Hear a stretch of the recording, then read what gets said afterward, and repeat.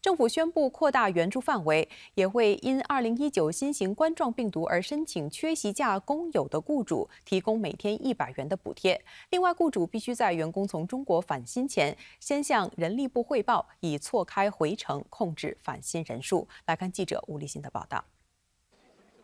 共同领导跨部门抗炎工作小组的国家发展部长黄循才和人力部长杨立明下午走访大市村客工宿舍的时候，宣布将扩大现有的援助范围，也会申请缺席假工友的雇主提供每天一百元的补贴，以豁免缴交外籍劳工税。Whether it's LOA or home quarantine, uh, the businesses are equally affected. They are disrupted, projects are being delayed.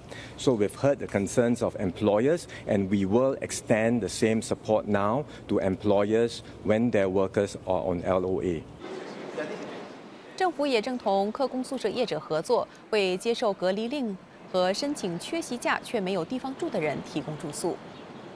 只有一小部分的雇主，他们和呃人力部呃联络，呃人力部也非常乐意的帮助他们。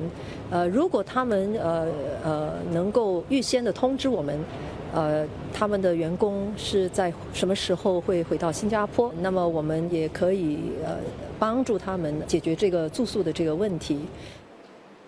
而大石村客工宿舍的其中五十个房间就被划为隔离病房。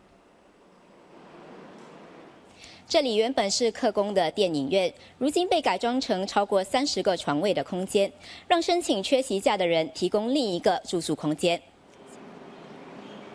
政府正监督疫情的发展，随时做出相应措施。